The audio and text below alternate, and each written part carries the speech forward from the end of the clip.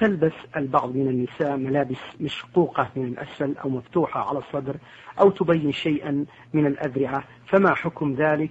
وما حكم لباس الملابس المشقوقة من الأسفل إلى الركبة بالنسبة للنساء ويكون الثوب شفافا أفيدونا بذلك؟ أولا يجب أن نعلم أن المرأة مطلوب في حقها الستر والحياء وهي منهية عن التبرج وهو إظهار المحاسن. من اللباس أو غير اللباس. قال الله تبارك وتعالى ولا تبرجن تبرج الجاهلية الأولى. وهذا يدل على ذم التبرج حيث أضافه الله تبارك وتعالى إلى تبرج الجاهلية. وكل ما أضيف إلى الجاهلية فهو جهل مذموم. فينظر في هذه الألبسة إذا كانت تعد تبرجا يحصل بها الفتنة فإنه منهي عنها ولبسها محرم. وأما إذا كان لا يحصل بها التبرج نظرنا إليها من جهة واحدة من جهة أخرى. هل هذه الألبسة تشبه ما يلبسه الرجال من الأكوات وشبهها فتكون محرمة من هذه الناحية لأن النبي صلى الله عليه وعلى آله وسلم لعن المتشبهات من النساء بالرجال والمتشبهين من الرجال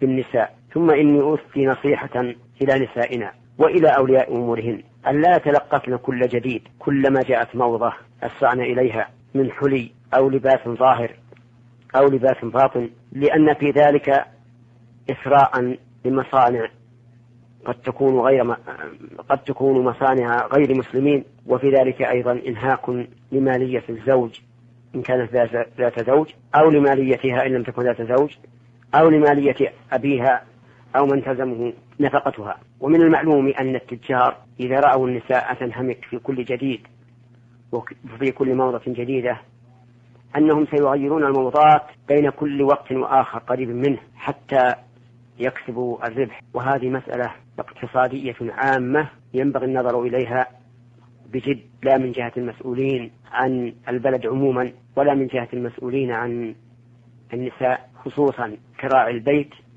فإنه مسؤول عن رعيته. ثم إن في تلقف هذه الموضات كثرة خروج النساء إلى الأسواق لتنظر ماذا حدث من جديد في هذه الموضات فيحصل كثرة دوران النساء في الأسواق وربما يعرضن أنفسهن للفتنة أو يعرضن غيرهن للفتنة. ثم هناك مسألة آه، تضاف إلى ما سبق وهي أن هذه الموضات قد يكون تحصيلها سهلا على من أغناهن الله لكنه يكون صعبا على من ضيق الله عليهم عليهم الرزق فيحصل انكسار قلب إذا رأت المرأة زميلتها تلبس هذا اللباس وهي باقية على اللباس الأول. فنصيحتي لأخواتي ولرعاتهن من الرجال أن يلاحظوا هذه المسألة والله الموفق جزاكم الله خيرا.